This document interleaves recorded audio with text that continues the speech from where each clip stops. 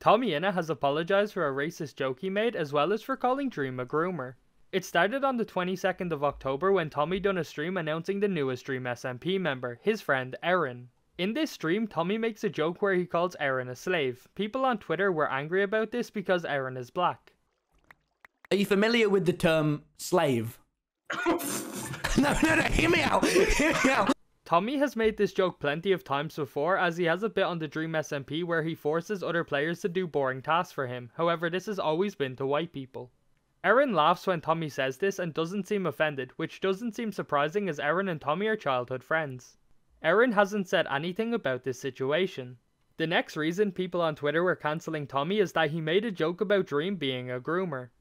Dream SMP fans are known for not liking jokes about sensitive topics such as grooming, while in Britain this type of joke would be very common and not serious.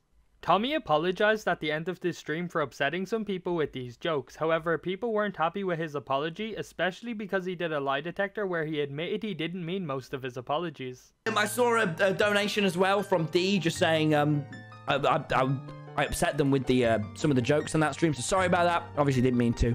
I'll work on it, my bad. Uh, yeah, sorry about that. Uh, anyway, thank you very, very. I don't want to upset anyone with the joke, so I'll rein it in. Apologies. Dude, it's so different. Have you ever apologised on the stream and not meant it?